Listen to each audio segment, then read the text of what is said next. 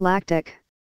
Of or pertaining to milk, procured from sour milk or whey, as, lactic acid, lactic fermentation, etc. Lactic acid, physicochemistry, a syrupy, colorless fluid, soluble in water, with an intensely sour taste and strong acid reaction.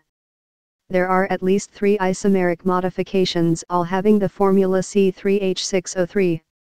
Sarcolactic or paralactic acid occurs chiefly in dead muscle tissue, while ordinary lactic acid results from fermentation.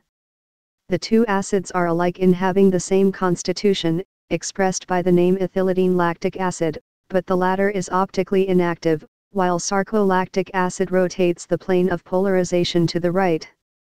The third acid, ethylene lactic acid, accompanies sarcolactic acid in the juice of flesh, and is optically inactive, lactic ferment, an organized ferment, Bacterium lacticum or Lactis, which produces lactic fermentation, decomposing the sugar of milk into carbonic and lactic acids, the latter, of which renders the milk sour, and precipitates the casein, thus giving rise to the so-called spontaneous coagulation of milk, lactic fermentation.